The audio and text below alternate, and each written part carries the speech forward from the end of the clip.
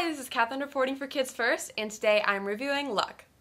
Luck is a cute and relatable movie for all ages. The animation is very well executed, and the plot is also very different than a traditional animated movie. Sam, played by Eva Noblezada, is the unluckiest girl in the world. That is until she meets Bob, Simon Pegg, a lucky cat, and gets accidentally transported to the magical land of luck. Luck's world building is spectacular. The animation is so vivid and beautiful. The colors are vibrant and the textures are so unique and striking.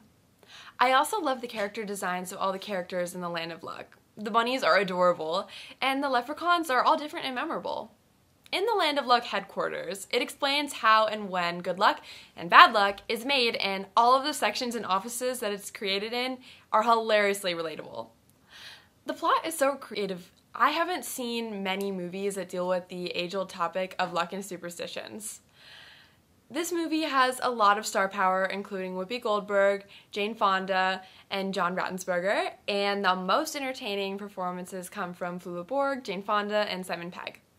Flula Borg has the voice of Jeff, has a hilarious, although a bit stereotypical, German accent that's perfect for his character. Jane Fonda is very lovable voicing the dragon, Simon Pegg as Bob, the lucky cat, is a joy to hear and watch. Although he's a bit grumpy at first, the audience will grow to love him. The messages of luck are to never lose hope when times are hard and to find the good in the bad. I give Luck 4 to 5 stars and recommend it for ages 8 to 12 plus adults. It comes out on Apple TV Plus August 5th, 2022. This is Katherine reporting for Kids First. Please don't forget to subscribe to Kids First and check out all of our reviews and interviews. See you later. Bye. Good luck to us both.